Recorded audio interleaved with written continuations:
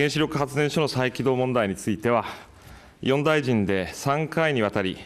安全性について徹底して議論をしてまいりました。国民にとって分かりやすい形で整理をしたものであります。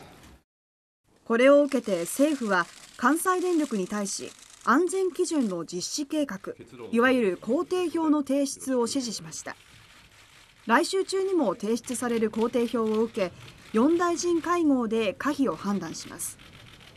妥当と判断すれば今月半ばにも枝野経済産業大臣を福井県に派遣し再稼働を要請します。しかしこの安全基準はたった3回の4大臣会合で決められました。また大井原発には万一の事故対策で重要な役割を果たす免震重要棟はなく津波に備えた防潮堤のかさ上げも済んでいません。こうしたことから拙速だという批判も出ています。